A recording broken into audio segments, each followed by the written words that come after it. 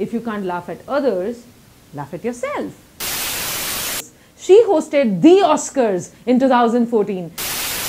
So there are so many jokes out there and you can pick up anything that you find suitable and interesting for your audience.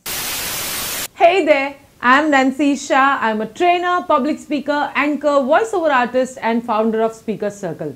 We have started an initiative called Speaker Circle where we help people improve their public speaking skills. You can also be there and join our online meetings. All you need to do is fill up the form. You'll find the link in the description. In today's video, I'm going to talk about using humor while opening your speeches. So let's get started.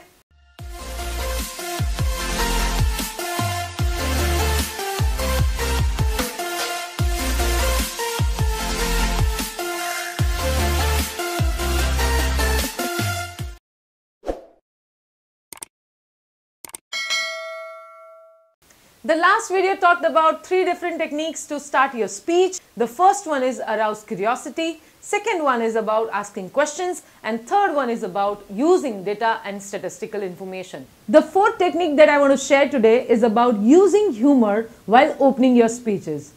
Humor is one of the best ways to connect with your audience. If you can make your audience laugh, they'll love you for it. But only condition is you need to learn how to manage humor because otherwise it might go a wrong way and you might lose control over your audience. Let me show you some examples where humor is used effectively. The first example is about Ellen DeGeneres. She hosted the Oscars in 2014 and she created a humor based on the situation and the occasion. She connected with the audience really well. Watch it here.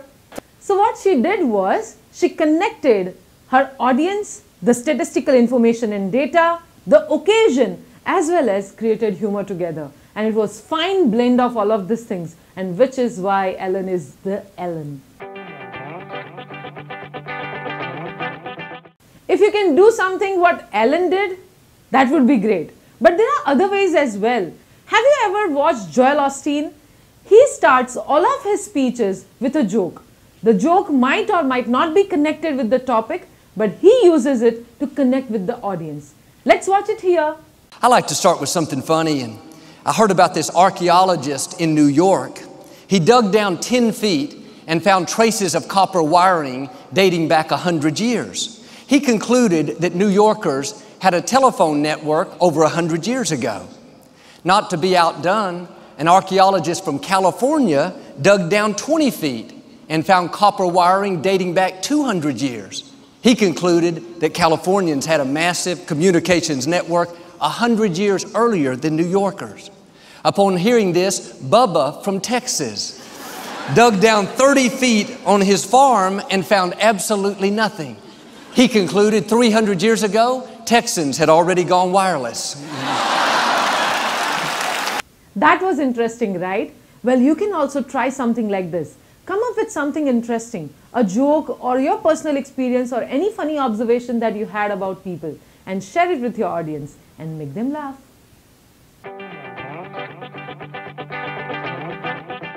I've seen so many speakers who try to create humor but meanwhile sometimes they offend their audience.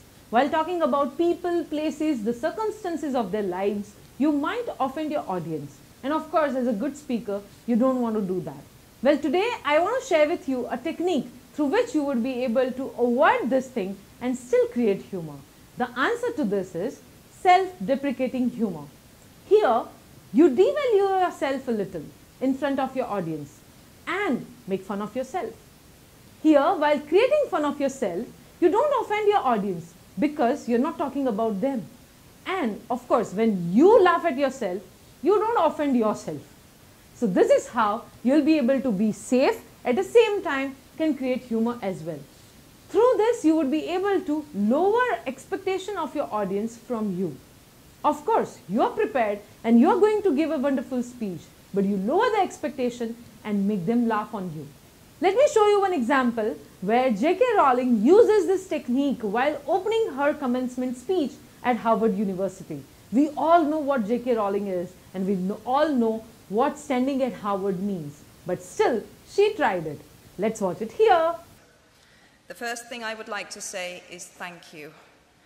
Not only has Harvard given me an extraordinary honour, but the weeks of fear and nausea I have endured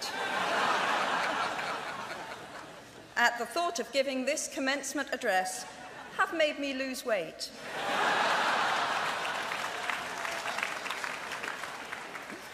A win win situation. Now all I have to do is take deep breaths, squint at the red banners, and convince myself that I am at the world's largest Gryffindor reunion.